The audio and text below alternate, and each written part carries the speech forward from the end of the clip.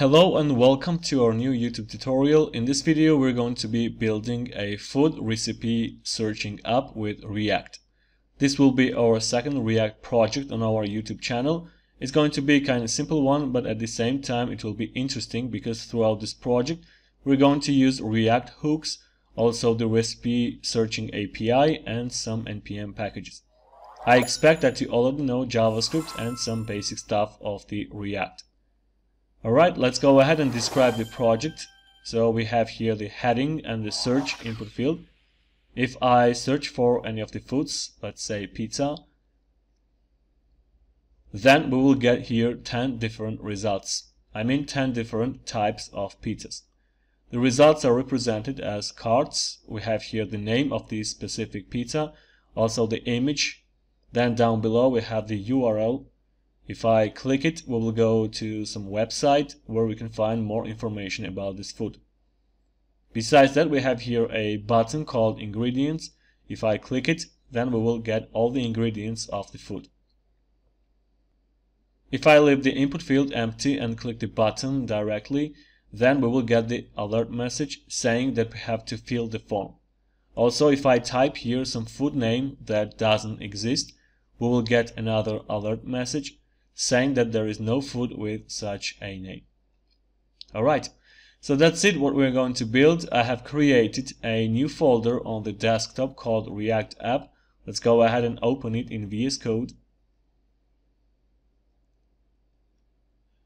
So the first thing that I'm going to do is installing the React application. For that, let's open the terminal before I run here some commands, you need to note that if you want to use a Node package manager, then you should have already installed Node.js, which is the JavaScript runtime environment, and it allows us to run the JavaScript on the server side. Actually, you don't have to know Node.js, but you should install it in order to run the Node package manager. By the way, we're planning to release some tutorials regarding Node.js in the future, so stay tuned. Alright, let's go ahead and install React App. For that we have to run npx create React App. And now we have to specify the name of the app. Let's call it Food App. This process takes some time, so I'll be back once it is installed. Alright, so the installation process is done. Let's go ahead and cd into the folder and then run the project to the browser. For that we have to run npm start.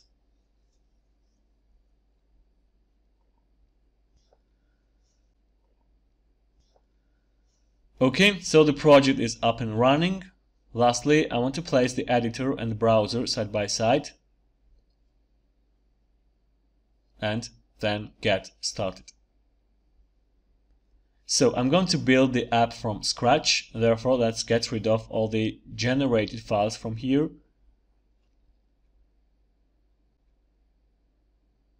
As you see, right now the app has crashed. Let's go ahead and create a new file in the source folder. I'm going to call it index.js. I'm going to bring in a couple of modules here, but before I do that, I want to show you one of the VS Code packages called ES7 React Redux snippets. This package allows us to write some React code with shortcuts, so I recommend to install and use this package. So now I want to import React and React DOM, and instead of typing the entire code, I just need to write IMR it will import React from React. As for the React DOM, we have to type imrd. Besides that, we have to import the app component as well. Actually, right now it doesn't exist, but we will create it soon. And finally, let's render the app to the browser. For that, we have to insert here react DOM dot render render method takes two arguments. The first one is going to be the app, which should be written as the HTML tag. As for the second one, we have to select root div element, which is placed in the index.html file in the public folder. So let's select this element using get element by ID method and pass here the ID root. So this is the main root element and with the help of this element the entire application will be rendered on the page. Right now we have an error because app.js file doesn't exist so let's go ahead and create it. So in order to render the application to the browser we have to create a component which is going to be either class-based component or a functional one in this case, I'm going to create a functional component. For that, we can use the shortcut RAFCE. So the functional component is generated. Let's insert here some text as the h1 heading element. I'm going to write here food searching up. So if I save, then the app will be rendered on the page. Alright, before we start to create different components and program the application, I want to take care of the styling. Throughout this tutorial, we're not going to write any CSS, but we'll use some ready styles. So let's go ahead and create app.css file. Then I'm going to grab all the styles and paste them here.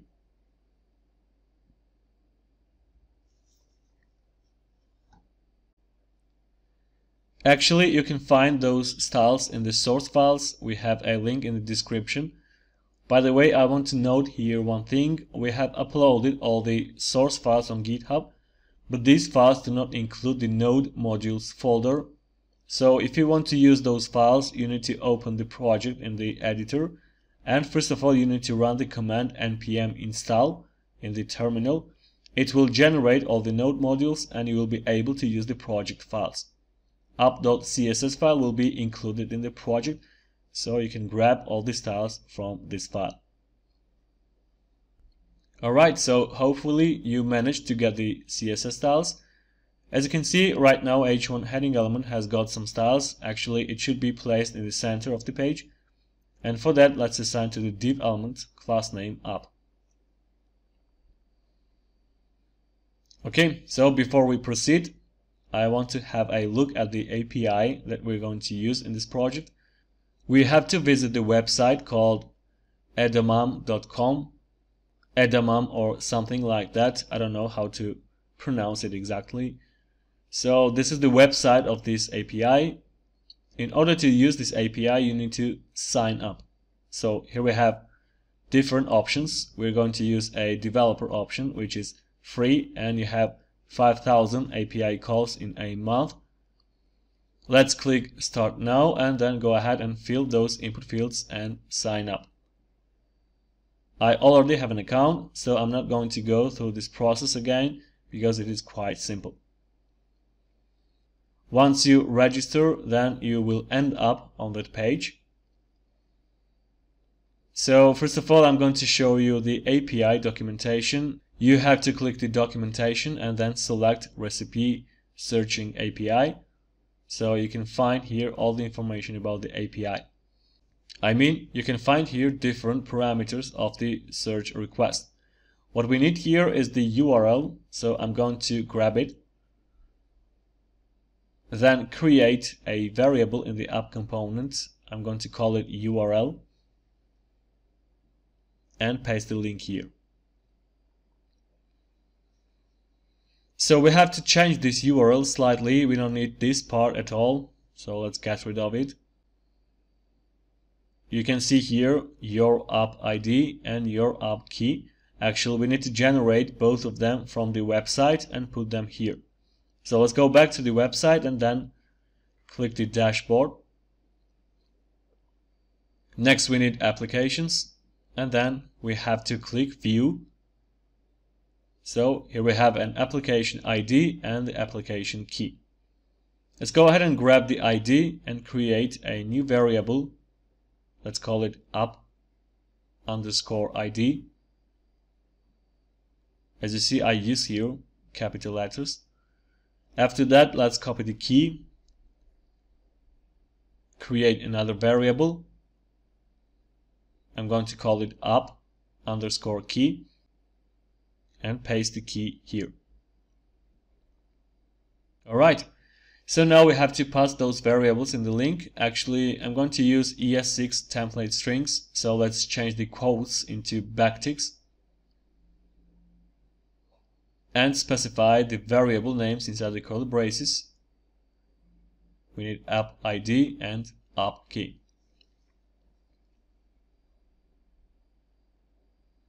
Okay, so now I want to make a test request and show you what kind of data we can get from the request. In order to make a request, you can use a couple of different ways. In our case, we're going to use one of the NPM packages called Axios, which right now is one of the popular ones. Besides that, you can also use Fetch API, but I prefer the Axios. So let's go ahead and install this package, run npm install Axios.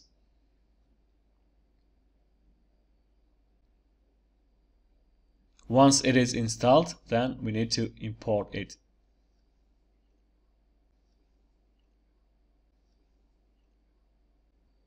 Alright, so in order to make a request, I'm going to create a function, which then will be executed once we click the heading element, and I'm going to log the result to the console. So let's create function and call it get So as we said, we have to make a request and we need to get some data from that request. It actually takes some time, I mean a tiny little amount of time. While the request is going to be made, in the meantime, we don't need to execute any of the JavaScript code. We have to wait for the response and therefore I'm going to use an async await syntax. Let's create a variable. I'm going to call it result. Then we need the keyword await. And now in order to get the result from the request, we have to use get method. I mean, we need axios.get and inside the parentheses we have to pass URL. After that, let's run the result to the console. Alright, so the function is ready. Now we have to attach a click event to the heading element. So we need onClick attribute and we have to pass here the function name. Actually, we don't need to call this function here. We just need to pass the function name without parentheses. When we click the element, then the function will be called automatically. So if I click the heading, then we will get the result in the console. Let's drop down this object. So we have here a couple of different properties. You see here data, which is the most important one for us. Also we have here status with the code 200. It means that we have made a successful request. Let's go ahead and drop down the data as you see, we have here a default query chicken. That's because in the URL, chicken is specified as a default query. So if I change it, let's say, into pizza, and click again the heading, then we will get the results about pizza. Eventually, we will get the query from the input field, but we will do that a bit later. Alright, the next thing that we are interested in here is a property called hits. It includes an array with 10 different items and those are the actual recipes. If we drop down it, then you will find that each recipe has a couple of different properties. We have here label, which can be used as the name of the food. Then you can find here image, URL. Also down below we have another array which includes the ingredients of the food. So throughout this project we will use some of those properties. Alright, Next, I'm going to create form element in which we will have a search input field and also the submit button. I'm going to assign to form class name search form. Then insert here input with the type text and with the placeholder attribute. I'm going to pass here search food. Besides that, I'm going to use attribute called autocomplete and I'm going to set it to off this attribute allows us to disable the auto-completion of the food name that I entered previously. Next, I'm going to create submit button with the input element. We need type submit and the value search. Alright, actually I'm going to get rid of onClick attribute from the heading element because we need to execute the function getData once we submit the form. So I'm going to assign to the form onSubmit attribute and we have to pass here the function name. I'm going to call it onSubmit and I'm going to create this function now. The first thing that I want to do is to prevent the default action of the submit button I mean by default once you click the submit button it will reload the page and in order to avoid this action we need to pass here an event object and we have to attach to it prevent default method. Besides that we have to call here function get data. So once I click the button then we'll get the data in the console. Alright, the next thing that I want to do is to take care of the query. As you know right now by default we have pizza and we have to change it dynamically. I mean we need to grab the value that will be written in the input field and we have to make it query. So I'm going to create a piece of state using React hook. Let's go ahead and import use state hook. Then let's go ahead and create the piece of state. I'm going to use an array destructuring. Let's pass here query and then set query. So the query is going to be a piece of data that should be updated. As for the set query, it should be the method that will be used to update this piece of data. I'm going to set the query to an empty string. Alright, now we have to grab the value from the input field and for that we have to use onChange event.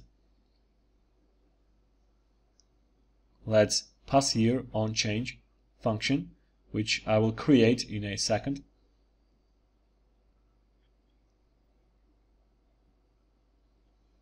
Let's pass here event object. So in order to grab the value from the input field, we have to use event object with its property called target and also we need the value. So first of all, let's run to the console e.target.value. So once I start to type in the input field, then we will get the value to the console. Alright, so this value should be the query, and in order to update the query dynamically, as we already said, we have to use the set query method. So instead of the console.log, let's use set query. And finally, we have to pass query here in the URL. We need dollar sign and then query in the curly braces. Alright, so now if I search for, let's say, steak and check the data, we will get the proper results about steak. So the query works fine and now we have to start to work on displaying the results on the page. Before I do that, I want to add here a couple of things. Once we search for the food, then I want to clear the input field. I mean to clear the input once we submit the form. For that, we have to add to the input the value and we have to pass here query. And also we need to use the set query method. And we have to set it to an empty string. So if I search for, let's say, pizza and submit the form, then the input field will be cleared. Okay, let's go ahead and start to display the results on the page. We need to create a new piece of state for recipes. So let's go ahead and use array destructuring. We need here recipes. And then set recipes. So I'm going to set recipes to an empty array. Now we have to get access to recipes. Let's take a look at the data once again. I'm going to search for pizza. So here we're getting lots of information, but right now the most important one is a property called hits, which includes an array of recipes. So we have to update the value of recipes in the state as you know, right now it is an empty array, so we have to add to recipes the data from the hits array. So in the get data function, we need to use set recipes method. And now we have to get access to hits array. As you know, the data is stored in the result variable, so we need here the result. It should be followed by the data property. And now we need heats. So we got access to recipes array and we updated the value of recipes in our state. Let's go ahead and display some data on the page. In this case, I'm going to display the label of each recipe. In the label, I mean the name of the food. So let's open the div with the class name recipes right after the closing form tag. Then open curly braces. We need to use here a conditional statement I mean we have to check if recipes array is empty or not. If it's not empty, it means that we have to receive the data that we have requested. So as the condition, we need to insert recipes not equals to an empty array. Next, we have to use the logical AND operator. So if this part is true, then the second part will be executed. So we have to loop through the recipes array get access on each recipe item, and grab the value of the label property. In order to do that, I'm going to use one of the array helper methods called map. We need recipes.map. Then we need to insert here the callback function, which should take one parameter. And actually, it is going to be the current item of the array. So let's insert here recipe. And then return h2 heading element with the following content. So first of all, we need here the current item from the array, recipe. Then again, recipe, which is the property of the current item. And after that, we need to get access to the label property. Alright, let's go ahead and search for the food. So we got here 10 different results on the page. Right now they do not have any style, so that's why they look this way. But it's not problem. The key point here is that we could manage to display the data on the page. So instead of the heading element, we need to display the recipe component with some other piece of data as well. Now it's time to create a new component. Let's at first create a new folder called components and then create file recipe.js So let's go ahead and create a functional component. For that we have to type RAFCE. So this component should receive a recipe as the props. As we said, we have to pass this component instead of the heading that we used here. So first of all, let's import the recipe component. We should import it from the components folder. And then down below, instead of the H2 heading element, let's insert the recipe component. So this component should have a recipe attribute with the value recipe because as we said the recipe component should receive the recipe as the props. So if I search for the food, it says say steak, then we will get the recipe 10 times and also we will get the warning saying that each child in a list should have a unique key prop. So this component should have a key prop. It helps React in quick rendering on the page. We can use here some unique ID. Right now we don't have any ID for the items, but we can generate it with the help of one of the packages called UUID. So I'm going to install this package. Let's run npm install UUID. Once it is installed, then we have to import it. Let's open curly braces and insert here v4, I mean version 4, as UUID v4, and then from UUID. After that, down below we have to call UUID v4. So this package will generate a unique ID for each recipe in the list.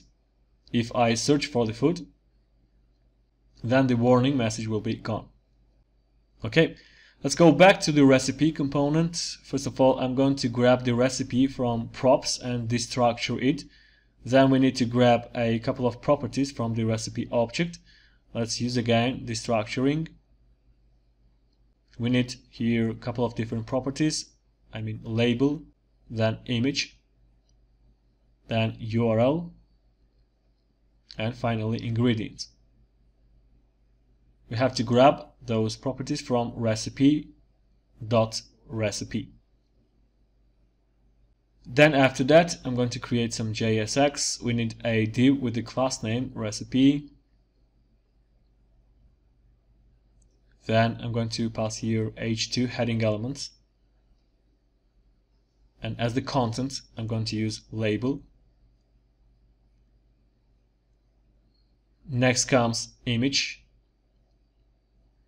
I'm going to pass image in the source attribute. As for the value of the alt attribute, I'm going to use again label.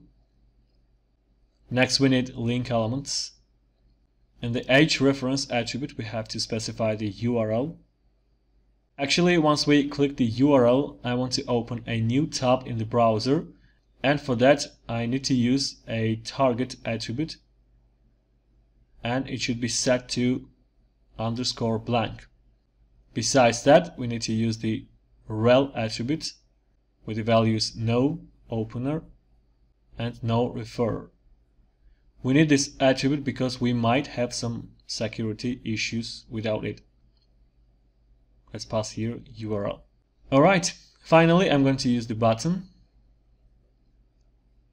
Let's pass here ingredients. This button eventually will allow us to display the ingredients of the food, but right now let's create just a simple button. Okay, let's go ahead and search for the food. So here we go. We have here 10 results represented as the cards and I think they look pretty nice. If I click the URL, then the new tab will be opened in the browser and we will be redirected to some website where you can find more information about the food. Alright, most of our project is done. We have to take care of the ingredients button and then we will have to program alerts. I'm going to create a new component which will include the details of the recipe. So let's go ahead and create a new component, recipe details.js, and then make it a functional component. So we need RAFCE. Let's pass here recipe details after that, let's go ahead and import this component in recipe.js file.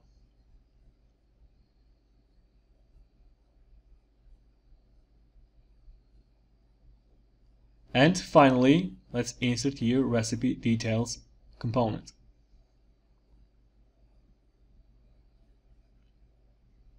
So if I search for the food, then each of the recipes will have recipe details at the end of the card.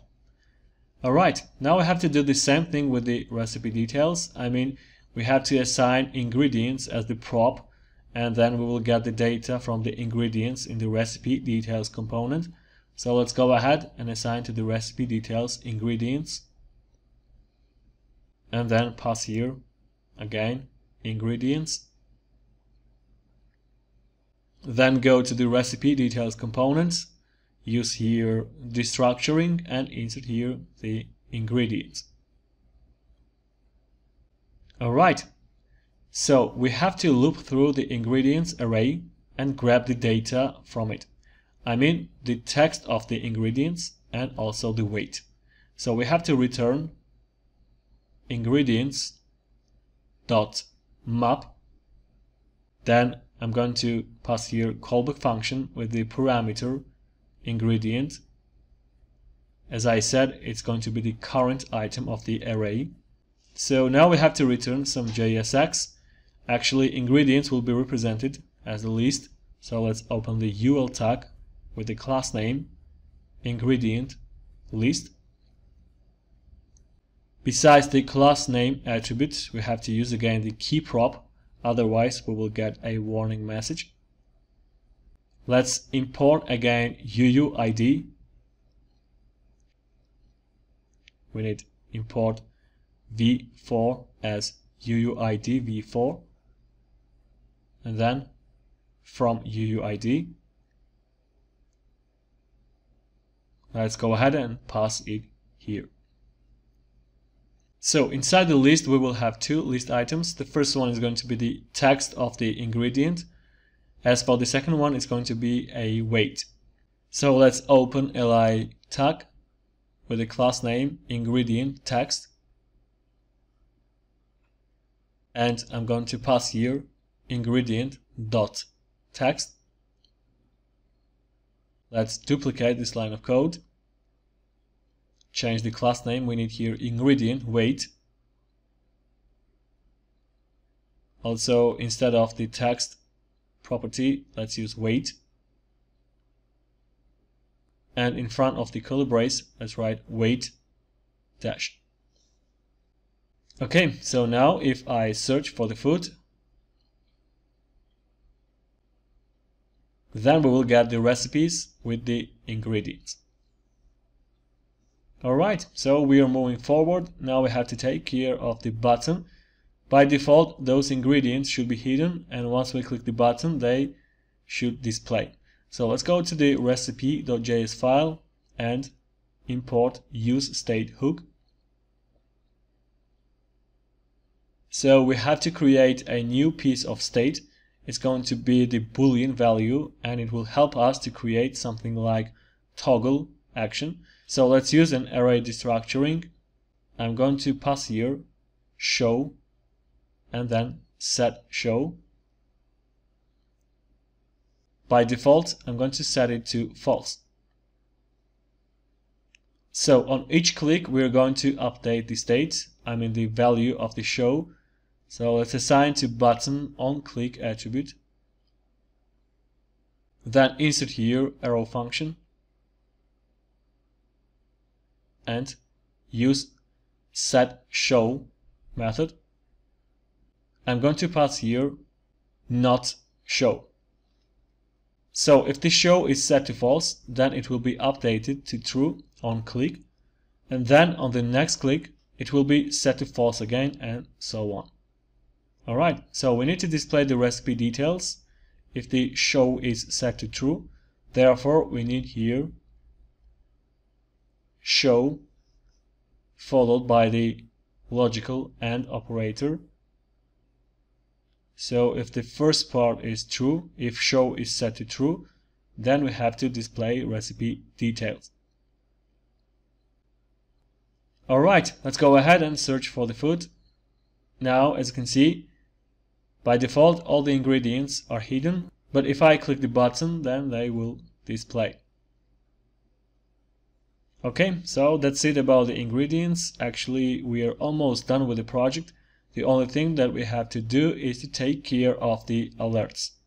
If we leave the input field empty and click the search button, then we should display the alert message saying that we have to fill the input field. And also besides that, we have to display the alert message once we type here the name of the food that doesn't exist. Alright, let's go ahead and create a new component. I'm going to call it alert.js Then make it a functional component. Use rafce. Let's assign to div element class name alert. And then insert here h3 heading element with the content alert message. After that, I'm going to import alert component into app.js file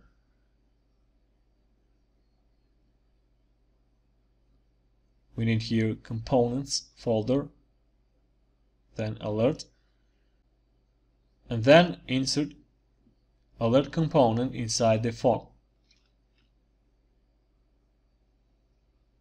alright so we have here an alert message and now we're going to make it work so as I said I'm going to display it once we click the search button without entering any characters into the input field Let's go ahead and create a new piece of state. Use again array destructuring and pass here alert and then the method set alert.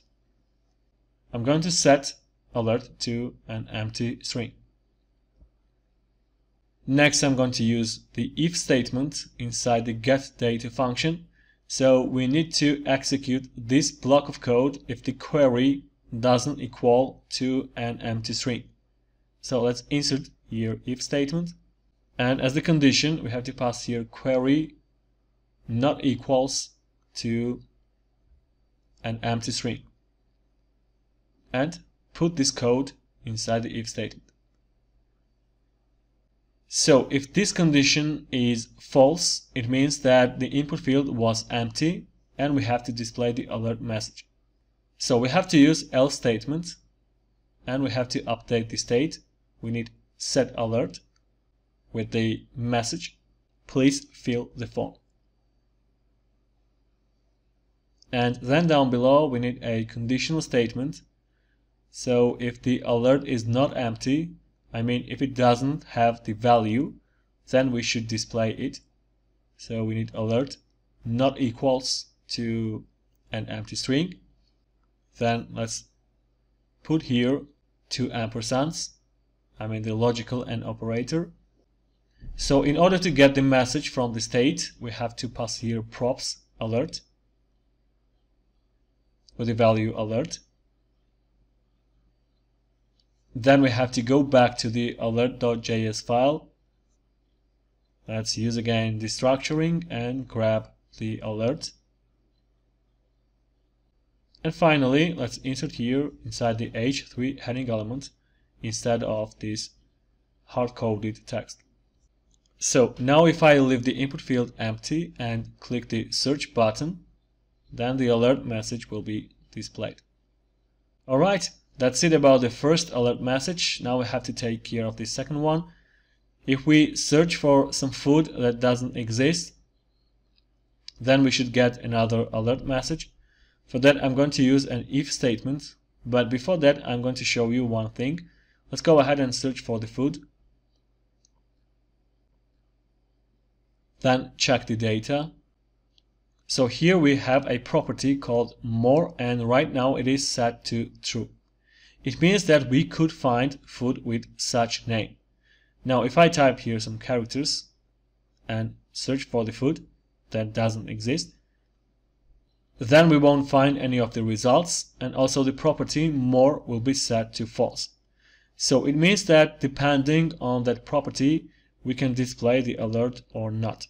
Let's go ahead and create if statement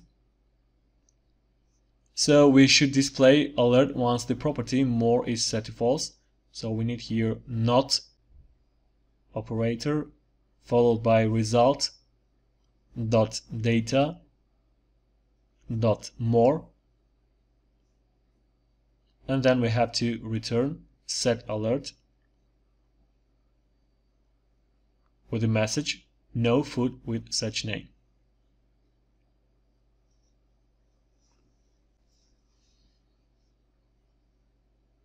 Besides that, we have to set alert to an empty string here.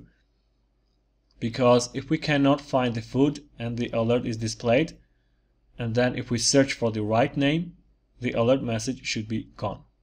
Alright so if I type here some wrong name then we will get the alert with the proper message. Alright so actually we are done with this project. Everything seems to be working fine it was kind of simple project, but I hope you enjoyed it and learned some new stuff in React. If you like this video, then please thumbs up, comment below, share the video, subscribe to our channel and click the bell to get notified on coming tutorials in the future. Alright, see you next time.